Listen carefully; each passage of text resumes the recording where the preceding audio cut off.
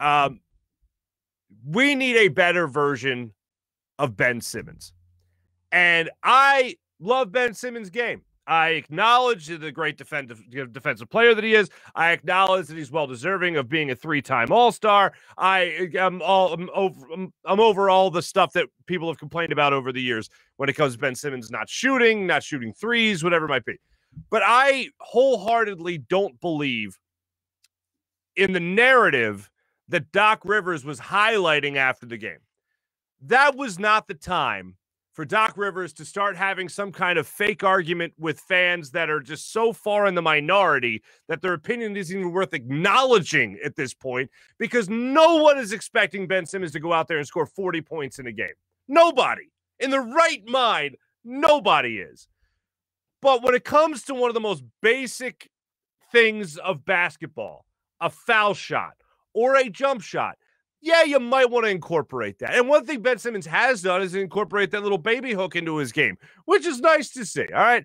But just the most basic thing standing at the foul line and hitting a free throw. That is something that Ben Simmons started to improve upon this year. In February, we've highlighted it enough times 70% plus. Wow. How great is that? And after game one, where uh, we had highlighted that Ben had 15 rebounds and 15 assists, and we, we talked about he only had six points, but I still thought he had a great game. The one thing that you, people could really, really poke, uh, you know, a lot of uh, I don't know holes in was the fact that he was 0 for 6 from the foul line. That was really the only thing of Ben's game in that first game of this series that I went, oh wow, Ben needs to improve upon that because at some point it's going to matter. Hello, game four, it mattered, and we'll let you hear from Doc Rivers. We'll let you hear from Ben Simmons and how they try to ex- explain this away. I give uh, some credit here to Ben though for at least saying, "Yeah, I got to step up. I got to make those shots." Uh, how how long is that going to go on where you're still working on this aspect of your game? Especially for someone that when he is at his best, he is aggressive, he's attacking the rim. And when you attack the rim, you tend to get fouled. You tend to get and-one situations where you have the chance to convert a three point play. So, yeah, it would help if sooner rather than later he started to improve upon his foul shooting. But the way this went down after the game, I just I can't believe that this is where we went with this. Doc Rivers, I got three cuts for you that I want you to hear. If you haven't seen the post-game press conference, maybe you've only read the quotes, whatever it might be. Doc Rivers was asked about Ben Simmons going three for six since the Hack-a-Ben started at about the 247 mark of the fourth quarter. Sixers had an opportunity to go in front. Actually, Ben Simmons hit a free throw to put him in front. I believe it was now 109 to uh, 108. And the Sixers had a lead at the 247 mark of the, of the fourth quarter. And then after that, it was basically going two for one up and down the court with the Wizards. Here is uh, Doc Rivers after the game talking about Ben Simmons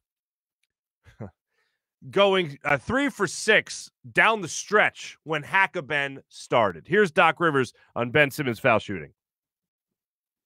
Analytically, if you split all those free throws offensively, you'll take a point per possession. You know, so he did that. I had no issues with it. Obviously, we loved him to make them both, um, but I didn't think that changed the game at all for us. So uh, I was fine with it. You know, if he had to miss both and both and both, then that's something. But uh, overall, was fine with it. Obviously, that's what they're going to do. That's what they should do, and we're fine with that. Okay, that last part right there, that's what they should do. Well, maybe Ben, ben should be a better free throw shooter. And how do you say it doesn't change the outcome of the game when you're basically going two for one each possession?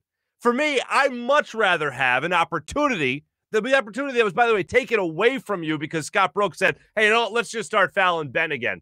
I'd rather have the opportunity for Danny Green to hit a shot or or Seth Curry hit a shot or uh, maybe somebody else hit a shot from the outside. Maybe somebody hits a three. Maybe get somebody else in foul trouble on their team.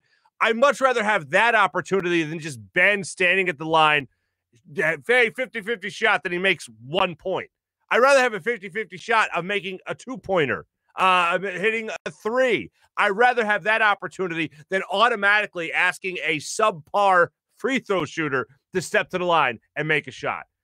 Um, that's that perturbed me. I was perturbed by that comment from Doc Rivers, but not as much as the comment he made on two different occasions during that answer that he was fine with it, that he was okay with it, that he had no issue with it. this is the like for all the Ben Simmons haters out there, and I am certainly not one of them. As I said earlier, I acknowledge that, that, that he is a great defender, that he is well deserving of the All Star nods and and all that, and all the things that he does as a facilitator to set up and create points. That Doc Doc Rivers even said that after the game. I acknowledge that Ben Simmons can create for this offense. He's not the scorer, but he can certainly create and facilitate and all that stuff. But the, to say that you have no issue with it, to say that you were fine with it, say that you were okay with it, I, like if I'm if I was back back in the days of me taking phone calls from people, I, if I was just reading the transcripts, I would have been like, "Who's this person calling? They sound like a wild Ben Simmons apologist. This is ridiculous. They're okay with a guy missing free throws down the stretch. Uh, to me, it's much better if you do make the free throws. And, and oh, give give credit to Doc Rivers for this. He did acknowledge that yeah, they much rather have him make both, but uh, in the event that he didn't, which he did not, uh, I'd rather have a guy like Danny Green, Seth Curry. Uh, I'd rather have Ben Simmons driving to the lane and try to get a dunk for you than Ben Simmons at the foul line.